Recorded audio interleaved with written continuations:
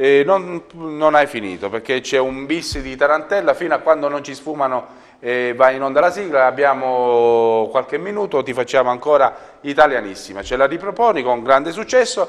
Grazie a Giuseppe Spinelli per essere stato nostro ospite. Grazie a voi. Italianissima.